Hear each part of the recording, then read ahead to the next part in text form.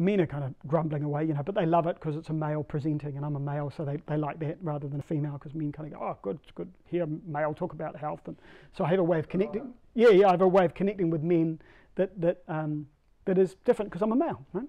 Um, and then you got those other ten men who are there because they survived a heart attack, and but I always acknowledge those men in the room, and I always say, you know, I've got to acknowledge the men in the room here tonight because you had the attitude to come here, and before you learn anything you have to have the attitude that I don't know.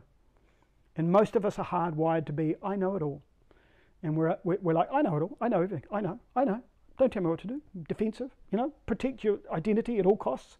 So to me, attitude is so important. You know, to, to, to even be listening to this podcast, you have to have the attitude that I want to be healthy or I'm interested or I don't know enough about it. Then you've got to search online to find it. Then you've got to go and push play on the podcast. Then you've got to give yourself time to listen to it.